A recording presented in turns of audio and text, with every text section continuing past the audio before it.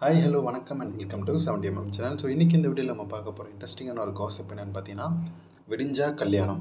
ஆனால் வந்து முதல் நாள் ராத்திரி ஒரு ஹீரோயினோட உல்லாசமாக இருந்திருக்காரு நம்ம உலக நாயகன்.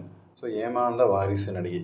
ஸோ யார் என்னன்றதை நம்ம டீட்டெயிலில் கிளிக்கு பார்க்கலாம். ஸோ கமலை பொறுத்தவரை ரொமான்ஸ் காட்சி அப்படின்னாலுமே வந்து அல்வா சாப்பிட்ற மாதிரி அசால்ட்டாக தூக்கி போட்டு போயிட்டே இருப்பார் நடிச்சிட்டேன் ஸோ இது வந்து சினிமாவில் மட்டும் இல்லாமல் நிஜ வாழ்க்கையில் வந்து பல பெண்களுடன் வந்து ஒரு காதல் வயப்பட்டு அதுக்கப்புறம் அனுபவித்து அப்புறம் வந்து கழட்டி விட்டுருவார். இவருக்கு வந்து நீண்ட நாள் திருமண வாழ்க்கை அந்த உறவு வந்து மே- அது மேலே நம்பிக்கை இல்லைன்றது அவரே சொல்லியிருக்காரு. ஸோ அந்த வகையில் வந்து கமல் வாழ்வில் வந்து எண்ணற்ற பெண்கள் வந்து வந்து போயிருக்காங்க.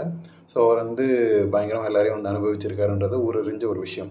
ஆனால் விடிஞ்சா கல்யாணம் இன்னொரு பெண்ணோட. ஆனால் முதல் நாள் ராத்திரி முன்னாடி நாள் ராத்திரி வந்து இன்னொரு நடிகையுடன் வந்து அவர் இருந்திருக்காரு. ஸோ அப்படின்ற செய்தி தான் கொஞ்சம் வந்து அதிர்ச்சியாக இருக்கக்கூடிய ஒரு விஷயம். ஸோ அந்த வகையில் வந்து கமல் வாணி கணபதியை வந்து காதலித்து கல்யாணம் பண்ணிக்கிட்டாரு. ஸோ ஆனால் இவர் அதே டைமில் ரெண்டு வண்டி ஓட்டியிருக்காரு. ஸோ இவரோட வந்து காதல் இருக்கார். இன்னொரு நடிகையருடன் வந்து ஒரு காதல் இருந்திருக்காரு.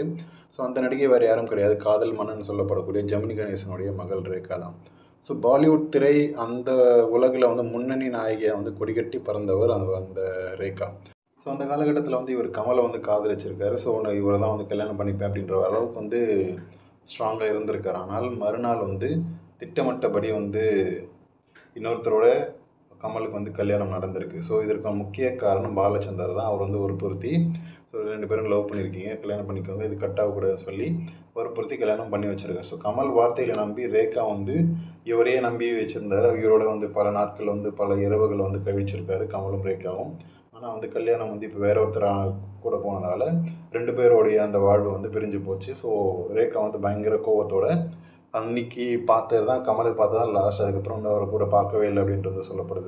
ஸோ அதுக்கப்புறம் வந்து கமல் அவரையும் வந்து விவாகரத்து பண்ணிவிட்டு அதுக்கப்புறம் இன்னொரு நடிகை சரிகாவையும் வந்து கல்யாணம் பண்ணிட்டு அவரையும் விவாகரத்து பண்ணிவிட்டு பல நடிகைகளோட வந்து லிவ் இன் ரிலேஷன்ஷிப்பில் இருந்திருக்காரு சிம்ரனோட இருந்திருக்காரு சொல்லப்போனால் அப்படின்னு சொல்லி பூஜா அப்படின்னு சொல்லி ரீசெண்டான நடிகை லாண்ட்ரி அப்படின்னு சொல்லி பல நடிகைகள் இந்த லிஸ்ட்டில் இருக்கிறாங்க.